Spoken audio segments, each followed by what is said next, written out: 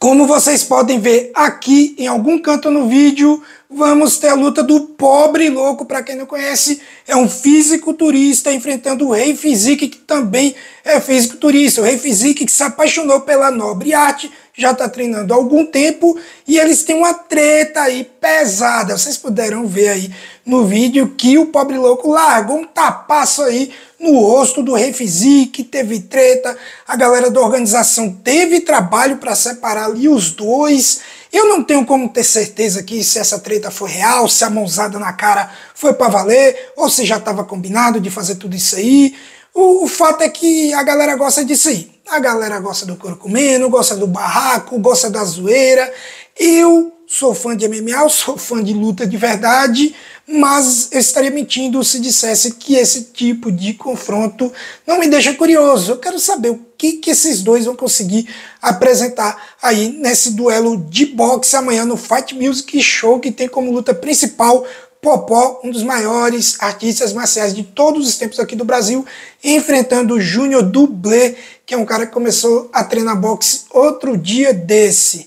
Então teremos algumas dessas atrações aí. Vamos ter MC Livinho também, pra galera que gosta aí de funk. Vamos ter ele também aí desafiando o cinturão dos influencers. É isso mesmo. Vai ter muita coisa. Pra a galera que gosta do entretenimento, vai ser um negócio top. Agora assim, já pensou se o pobre louco toma uma surra, uma passada de carro amanhã?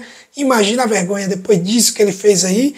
Eu achei ele, pô, cara, meio covardão ali. Ele largou o tapa e correu. Vocês virem no vídeo, vou colocar aqui de novo para vocês. Ele larga o tapa e vem para trás. Ele não larga e fica.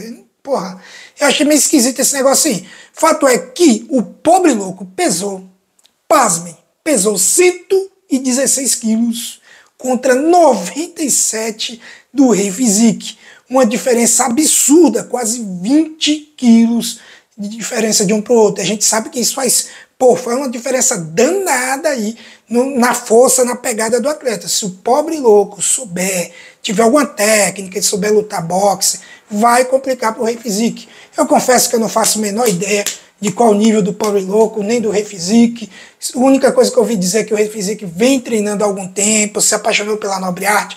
Do pobre louco eu não ouvi falar nada em relação a isso, não faço a menor ideia aí do nível dos dois. Porém, se for aquela coisa do nível bem parelho, o pobre louco deve passar o carro, porque a diferença de tamanho, seja na altura ou no peso, aí é insana. Não dá.